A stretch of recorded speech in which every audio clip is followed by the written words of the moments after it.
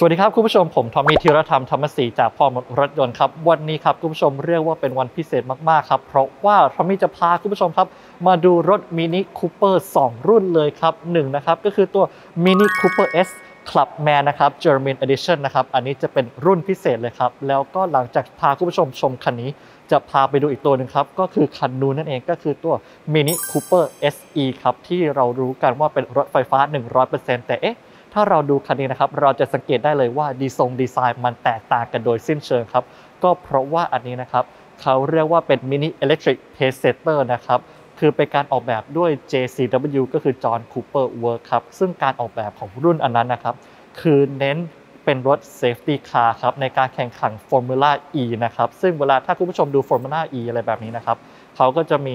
รถต่างๆที่เขาแข่งเนาะ และเมื่อต้องการรถ Safety Car ก็คือ คันนี้นั่นเองครับ ซึ่งบอกเลยว่าดีไซน์ภายนอกที่คุณผู้ชมเห็นอยู่เนี่ยแตกต่างและโดดเด่นมากๆ แต่ภายในก็แตกต่างเช่นเดียวกัน ซึ่งเดี๋ยวจะพาคุณผู้ชมดูหลังจากชมคันนี้เสร็จครับ เพราะว่าตัวคลับแมนคันนี้ก็พิเศษเช่นเดียวกัน ซึ่งถ้าคุณผู้ชมดูตัวคลับแมนคันนี้นะครับอยู่ภายใต้ German Edition นะครับซึ่งจะเป็นตกแต่งพิเศษมากๆครับ Limited Edition สุดๆเลยครับ เพราะว่ามีเพียง 10 คันเท่านั้นเอง 10 คันนะครับ คือ 10 คันจบแล้วคือจบเลยนะครับและคันนี้ถ้าคุณผู้ชมสนใจนะครับ ก็สามารถไปดูได้ที่งาน Motor Expo นะครับที่จัดขึ้นในเดือนธันวาคมนั่นเองครับก็ใครจองก่อนได้ก่อนว่ากันไปนะครับ ซึ่งคันนี้นะครับคุณผู้ชมการออกแบบของเขา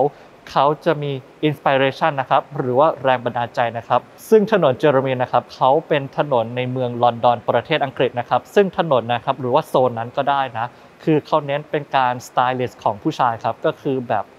คนเขาเวลาเขาจะดูสูทอะไรแบบนี้ก็ย่อมจะไปตรงโซนนั้นนั่นเองครับ ซึ่ง inspiration ในการออกแบบนั้นก็มาจากตรงนั้นนั่นเองครับเขาก็เลยเรียกว่าเป็น Jermyn นะครับผมซึ่งจุดแรกเลยนะครับก็คือตรงสติกเกอร์นะครับด้านหน้าตรงนี้นั่นเองครับสติกเกอร์นี้นะครับจะมีแรงบันดาลใจจากเป็นแนวสูทนะครับถ้าจะเรียกก็ได้นะครับ แต่ว่าถ้าเราดูเส้นสายนะครับมันจะไม่ได้เหมือนกันในทุกๆ เส้นนะครับ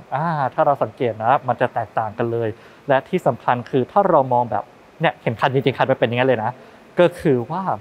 เส้นมันอะมันเหมือนว่ามันเคลื่อนไหวอยู่ตลอดเวลานะเหมือนเป็นมายากลเล็กๆก็ได้คือถ้าคุณผู้ชมดูหนังที่มันเหมือนสะกดจิตอะแล้วมันจะหมุนหมุนติ้วติ้วติ้วเนี่ยมันจะให้อารมณ์นี้เหมือนกันนะ แต่เรามองแบบนี้ไม่ได้มึนนะครับ แต่แค่จะพูดถึงฟีลลิ่งเฉยๆซึ่งสติกเกอร์เนี้ยจะไม่ได้มีแค่ฝากระโปรงด้านหน้านะ จะมีตรงด้านข้างของตัวรถด้วย ซึ่งบอกเลยว่าโอเคมากๆครับ ใช้ได้มากๆเลยสำหรับผมนะ สมรรถนะของคันนี้จะเป็นสมรรถนะเดียวกับตัวคลับแมนที่เราคุ้นเคยกันนะครับ ก็คือเป็นเครื่อง 2.0 ลิตรนะครับ แรงม้าอยู่ที่ประมาณ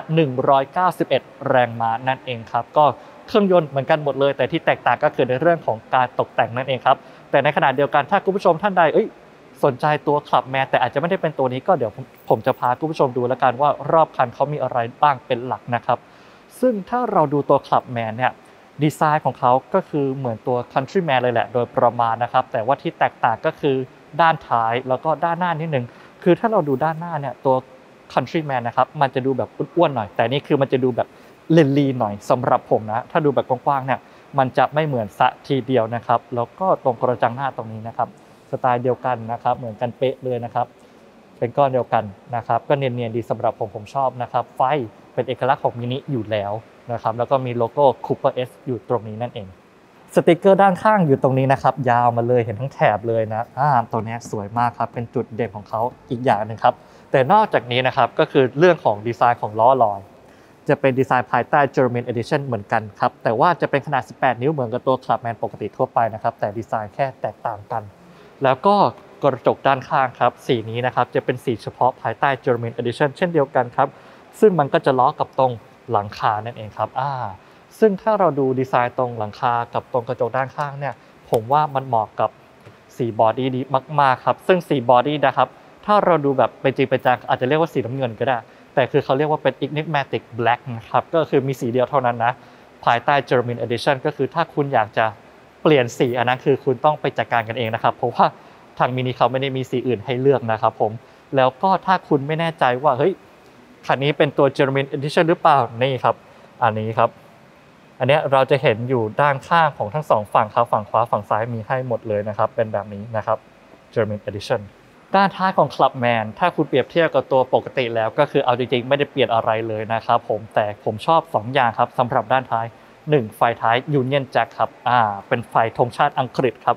ซึ่งถ้าคุณเปรียบเทียบกับตัว Countryman ทรงดีไซน์จะแตกต่างกัน เพราะว่า Countryman มันจะเป็นเหมือน วงกลมแบบนี้ แต่อันนี้จะเป็นแบบเหมือนสี่เหลี่ยมนะครับผมอันนี้ก็แล้วแต่ความชอบครับ และอีกจุดหนึ่งครับก็คือเสน่ห์ตู้เย็นของผมครับ นี่เวลาเราเปิดนะครับ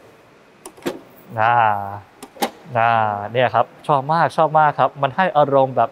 แตกต่างมากครับกับการเปิดด้านท้ายที่แบบออกคนละข้างนะครับ ผมพื้นที่ก็ปกติไม่ได้กว้างมากอะไรมากมายตามสไตล์มินิอยู่แล้ว และก็เวลาเราปิดนะครับ อันนี้ต้องใช้มือ แต่ว่า นี่ครับเราต้องปิดฝั่งนี้ก่อนนะ เราต้องปิดฝั่งนี้ก่อนเพราะว่ามันจะติดตรงนี้นั่นเองนะครับ แล้วก็ถ้าเราปิดจากตรงนี้ก่อนนะเนี่ยมันจะไม่ล็อกเห็นไหมมันจะไม่ล็อกก็คือต้องปิดจากตรงนี้ก่อนอ่าให้มันล็อกเห็นไหมแล้วก็ปิดจากตรงนี้ครับอ่าภายในนะคุณผู้ชมคืออยู่ภายใต้มินิที่เราคุ้นเคยกันหมดเลยครับ เว้นแต่จุดหนึ่งครับก็คือนี่เลยครับ Jermyn Edition ครับจะอยู่ตรงคอนโซลด้านหน้าตรงนี้ครับนี่นะฮะบอกเลยเสน่ห์อยู่ตรงนี้ครับคือ อย่างที่บอกถ้าเราแบบเฮ้ยเราอาจจะเอามินิของเราไปตกแต่งเนาะแต่ว่า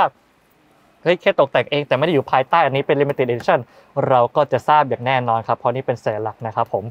โทนโดยรวมเหมือนกับมินิที่เราคุ้นเคยกันเลยนะพวงมาลัยนะครับ หน้าจงหน้าจอนะครับ รวมถึงถ้าเราจะปรับพวงมาลัยนะครับ สมมุติเราจะปรับเข้าออกนะครับก็ได้นะครับ ขึ้นลงก็ได้ครับ แต่ขึ้นลงหน้าจอมันก็จะไปด้วยเหมือนกันนะครับผมมี head up display หน้าจอ entertainment นี่สไตล์มินิเลยนะครับผม ซึ่งเวลาคุณถอยอะไรแบบนี้ตัวนี้ก็จะเป็นสีนะครับ สมมติถ้าว่าแบบมันใกล้ชนหรืออะไรแบบนี้ก็จะเป็นสีแดงเตือนเราตรงนี้ก็แจมๆครับปุ่มสตาร์ทอยู่ตรงนี้นะครับเรากดลงตรงนี้ก็จะให้เราเหมือนฟีลรถแข่งเล็กๆ น้อยๆนะครับ เหมือน Fast and Furious นะครับสำหรับผมนะแต่นี่ก็คือเป็นสไตล์มินิอยู่แล้วครับเบาะเป็นไฟฟ้านะครับทั้งคู่เลยนะครับ ด้านหน้านี่ถือว่าโอเคมี Memory Seat ให้ด้วยนะครับจะอยู่ด้านข้างของเบาะนะครับ อันนี้จะเป็นเกียร์ นี่ก็เป็นปุ่มควบคุมหน้าจอ Entertainment นี่เป็นเบรกมือไฟฟ้านะครับผมก็โดยรวมไม่มีอะไรมากครับ ก็คือเป็นสไตล์มินิปกติเลย ส่วนเบาะด้านหลังนะครับ ก็ถ้าไม่จำเป็นก็แนะนำอย่าเพิ่งนั่งนะครับ เพราะพื้นที่มันก็ค่อนข้างแคบนิดนึงนะครับ แต่ถ้าอยากจะนั่งก็ท่านหนึ่งคนหนึ่งก็เหลือเฟือครับ ผมว่าถ้าเดินทางไกลๆก็จะโอเคกว่านะครับ แต่หลักๆ แล้วรถมินิเราก็รู้กันอยู่เนาะมันเน้นสักคนแถวหน้าเท่านั้นครับ ด้านหลังก็เผื่อเก็บของอะไรแบบนี้เนาะ ก็แล้วแต่การใช้งานของคุณผู้ชมแต่ละท่านละกันครับ แต่ว่าอีกรุ่นหนึ่งครับที่ทอมมี่บอกไว้นะครับ ที่จะพาคุณผู้ชมไปดูนะครับ ก็คือตัว Mini Cooper SE ครับ ซึ่งเป็นตัว Mini Cooper แบบไฟฟ้า 100%เลยครับ แต่ว่าจุดเด่นไม่ใช่อยู่ตรงนั้นครับ แต่ว่าจุดเด่นของเขาก็คือจากดีไซน์ที่เราเห็นอยู่ตรงนี้เลยครับ อันนี้คือเขาใช้เป็นการ Safety Car นะครับในการแข่งขันเลย ซึ่งบอกเลยว่าอันนี้คือเขาแค่เอามานำโชว์เท่านั้นนะ ถ้าคุณผู้ชมอยากจะ ดูนะครับก็สามารถมาดูได้ที่ในงาน Motor Expo นะครับแต่ถ้าเราไปที่งาน Motor Expo เขาไม่ได้ให้ดูแบบข้างในนะครับเขาไม่ให้แทบจะไม่จับเลยเพราะเขาจะมีล้อมไว้ครับ เพราะว่าคันนี้มีคันเดียวเท่านั้นในโลกครับโอ้โหเอาละสินะครับคันนี้เป็นคันแรกที่เขาเอามาให้ด้วยนะครับ ประเทศเราเป็นประเทศแรกในเอเชียด้วยนะครับ แต่หลังจาก Motor Expo เขาก็จะส่งต่อไปที่ประเทศอื่นๆให้ประเทศอื่นๆ เขาได้เห็นรถคันนี้ด้วยครับ ซึ่งก็ แนะนำครับว่าถ้าสนใจก็ลองมาดูคันจริงครับเผื่อจะได้อินสปิเรชันต่างๆ ในเรื่องของการตกแต่งหรืออะไรแบบนี้ แต่ว่าในวันนี้ก็จะพาคุณผู้ชมดูรอบคันเลยครับ รวมถึงภายในว่าเขามีอะไรวัสดุเป็นอย่างไร บอกเลยว่าเจ๋งมากๆครับ ซึ่งอันนี้เขาจะเรียกว่าเป็นตัว pace setter นะครับ ชื่อจะอยู่ตรงนี้เลยครับ ซึ่ง pace ก็แปลว่าความเร็ว set นะครับ ก็คือ setter ก็ได้ก็คือเป็นการเซต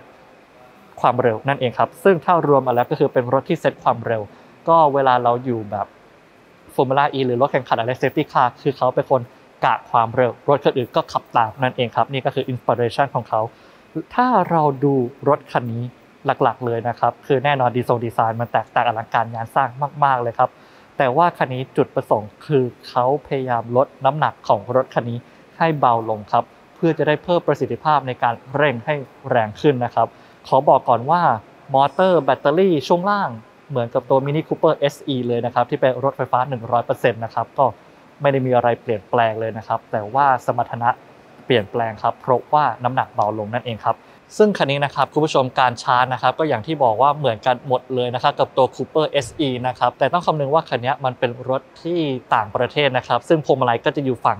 ซ้ายมือนั่นเองนะครับแต่การชาร์จนะครับที่ชาร์จมันจะอยู่ฝั่งขวามือ แล้วก็แบตก็อยู่ข้างล่างนะครับอยู่ใต้ท้องรถนะครับก็เหมือนตัว Mini Cooper SE ปกติทั่วไปเลยครับก็อันนี้ก็คือพาดูเฉยๆนะครับว่าเป็นอย่างไรสติกเกอร์สติกเกอร์นะครับผมบอกเลยว่าสวยมากครับแต่จุดหนึ่งที่อยากให้ดูก็คือตรงล้อนี่ครับเขาเรียกว่าเป็นล้อฟอสครับซึ่งล้อฟอสอันนี้นะครับคือน้ำหนัก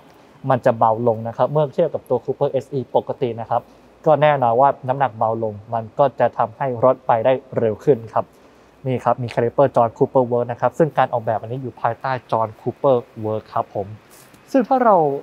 ดูรถโดยรวมอะแบบไม่ได้เอาสติกเกอร์เข้านะครับ มันก็คือ Cooper SE เลยครับดีทรงดีไซน์เหมือนกันเดะเลยนะครับผมอ่าเดี๋ยวให้คุณผู้ชมเข้ามาดูตรงนี้กันก่อนแล้วกันนี่ให้ดูภายในก่อนก่อนเลยแล้วกันนะครับ สุดยอดไหมครับอ่า feel เหมือนเป็นรถแข่งเลยนะครับซึ่งคันนี้เขาใช้ขับจริงนะครับ การที่เขาเอารถคันนี้มา โชว์นะครับ คือเขาจะสื่อว่าเฮ้ย Mini Cooper SE ถึงแม้จะเป็นรถไฟฟ้าไม่ได้ขับแค่ในเมืองนะครับเน้นการประหยงประหยัดอะไรไม่ใช่นะครับ คือเขาเน้นแบบเฮ้ยรถคันนี้แรงและดีจริงครับ ซึ่งใช้งานได้จริง ๆ ด้วยนะครับผมซึ่งอะเดี๋ยวผมจะลองไปนั่งดูนะครับ อันนี้เป็น feel รถแข่งเลยนะจัดจ๋าเลยสุดยอดมากโอ้โหถ้าโอ้ยคนอายุเยอะหน่อยนะครับ ก็อาจจะเข้าลำบากหน่อยนะครับ แต่ก็อย่างที่บอกไว้ว่าอันนี้คือเขาไม่ได้ให้เข้ามาดูนะครับ ถึงแม้คันนี้จะอยู่ในงาน Motor Expo ก็ตามนะครับ เราจะไม่สามารถมานั่งได้นะครับ คือเขาจะมีที่กั้นรองไว้นี่คือทางมินี่เขาแจ้งผมนะ แต่ถึงหน้างงานเขาจะให้นั่งมากน้อยแค่ไหนก็ลองคุยกันดูนะอ่านะครับ จุดแรกนะครับก็คือนี่เลยแผงประตูไม่เหลืออะไรเลยครับ เหลือแค่ตรงนี้เองนะครับ ที่ล็อกประตูและตรงนี้ก็เป็นที่ดึงนะครับเนาะเพื่อที่จะลดน้ำหนักให้เบาที่สุดที่ทำได้แอร์นี้เป็นที่เป็นตัวประกอบเลยครับเพราะคันนี้ไม่มีแอร์นะครับ พวงมาลัยนี้จะเป็นหนัง Alcantara นะครับผมก็โอเคนะผมว่าเฮ้ยมันทำให้แบบมันกระชับมากขึ้นนะมัน firm มากขึ้นด้วยนะครับนี่ก็เป็นคันเร่งนี่ feel แบบนี้เลยอ่าสุดยอดไหมมันได้อารมณ์เหมือน feel รถแข่งเลยนะใครชอบแต่งรงแต่งรถนี่บอกเลยว่าแจ่มมากเลยคือนึกถึงนึกภาพว่าถ้าคันนี้ขับอยู่บนถนนบ้านเรานะโอ้โห คนต้องขับมองแน่ๆครับ เด่นอะเอาง่ายๆเลยครับ ยังไงก็ต้องมองครับ ผมยังแบบขนาดเห็นรถหลากหลายรุ่นยัง น่าสนใจอยู่เลยครับ แล้วก็ตรงนี้ก็ไม่ได้มีอะไรครับ แต่ว่าตรงนี้ครับอยากให้คุณผู้ชมเข้ามาดูเลยนี่นะครับเรียกเป็นถ้าพูดภาษารถก็ option ครับมันเป็น white green s อแล้วก็ red นะครับ อันนี้คืออะไรรู้ไหมไซเรนนะครับผมก็เดี๋ยวผมจะกดนะและจะพาคุณผู้ชมดูรอบคันเลยว่าหน้าตามันเป็นอย่างไรนะครับอ่าเดี๋ยวผมกดไว้ให้ดูนะป้า green นะครับ ลองดูวนรอบคันเลยนะ เป็นยังไงนี่นะครับ ด้านข้างด้านหน้าอ่าเดี๋ยวผมปิดประตูให้ด้วยว่าเป็นยังไงนะครับ อ่าซึ่งคุณผู้ชมเห็นไหมเนี่ยมันกระพริบเลยนะ ไม่ว่าจะเป็นด้านหน้าที่เห็นนะครับ ด้านท้ายก็กระพริบบอกเลยว่า ถ้าเราเปิดจริงโคตรแสบตาเลยครับ ผมพูดตรงๆเลยแสบตาจัดเลยครับอ่านะฮะผมเปิดแป๊บหนึ่งนะครับ เพราะคนรอบข้างน่าจะด่าผมอยู่ครับณตอนนี้นะครับที่เห็นภาพอยู่นะครับ ก็เนี่ยแหละครับ คือมันอลังการมากๆครับ อลังการมาก ๆเลยอ่า นะครับผมก็ประมาณนี้ประมาณนี้กระพริบทุกอย่างครับ เพราะว่าเวลามันเกิดอุบัติเหตุหรือฉุกเฉินอะไรแบบนี้เขาก็ต้องเปิดไว้นั่นเองครับอ่าเดี๋ยวผมปิดก่อนนะครับ เพราะว่าเขาน่าจะด่าผมในใจแล้วล่ะครับอะนะครับผมโอเคนะครับ อันนี้ก็คือโดยรวมนะครับ และถ้าเราดูด้านหลังของผมนะครับ ก็ลือทุกอย่างออกหมดเลยนะครับ เหลือแต่เหล็กนะครับ เพื่อเป็นโครงสร้างนะครับ ให้รถมันแข็งแกร่งแล้วก็เฟิร์มมากขึ้น อีกจุดหนึ่งครับคุณผู้ชมก็คือเบาะครับ ซึ่งจริงๆแล้วนี่ อันนี้นะครับคือเพื่อ หนึ่งคือความปลอดภัยด้วยแหละ แล้วก็สองคือเพื่อลดน้ำหนักนั่นเองครับ แต่ถ้าเราสังเกตนะครับ คือเขาไม่ได้แค่วางบ้านๆนะครับ นี่ครับมินินะครับ Pacesetter นะครับเขาปักคำอยู่ตรงนี้ด้วยนะ แล้วก็ตรงนี้ครับ Recaro นะครับอยู่ตรงนี้นะครับ Recaro อยู่ตรงนี้นะครับฮ่าสังเกตดูนะ แล้วก็เบาะนี่ก็เป็นแบบคาร์บอนนะครับผมก็โอเคมากๆนะครับถ้าสามารถนะครับถ้าเขาให้มานั่งจับมานั่งดูอะไรแบบนี้ผมก็แนะนำครับ ที่งาน Motor Expo นะครับหลังจากนั้นจะไม่เห็นคันนี้แล้วนะครับย้ำนะครับคันนี้มีคันเดียวในโลกนะครับผมแล้วก็ด้านท้ายครับคุณผู้ชม อันนี้ก็ปกติเลย คือเหมือนกับตัว Mini Cooper เลยนะครับ ตัว Countryman ทรงคล้ายๆแบบนี้เลยนะครับ แต่ถ้าเราสังเกตก็เนาะสติกกอร์สติกเกอร์ตรงนี้นะครับ แตกต่างหมดเลยนะครับ ก็ไฟเมื่อกี้นะครับ ที่เป็นไฟ safety ก็อยู่ตรงนี้หมดเลยอ่าสุดยอดมากครับ สุดยอดมากสำหรับรถคันนี้นะครับมาเปิดท้ายได้ไหม ตอนนี้เปิดยังไม่ได้แต่เชื่อว่ากดได้ครับ ไม่มากก็น้อยนะครับอืมโอเคโอเค เป็นไงบ้างครับคุณผู้ชมสำหรับรถคันนี้ครับ Mini Electric Pace Setter นะครับ Inspire by JCW นะครับ ก็แนะนำนะครับคุณผู้ชมถ้าสนใจนะครับแบบเป็น Inspiration นะครับ หรือว่าอยากจะมาดูคันจริงก็ได้นะ เพราะอย่างที่บอกว่ามีคันเดียวในโลกนะครับผมและมีแค่ในช่วง Motor Expo เท่านั้นในบ้านเรานะครับ หลังจากนั้นต้องไปหาที่ต่างประเทศกันแล้วนะครับผมซึ่ง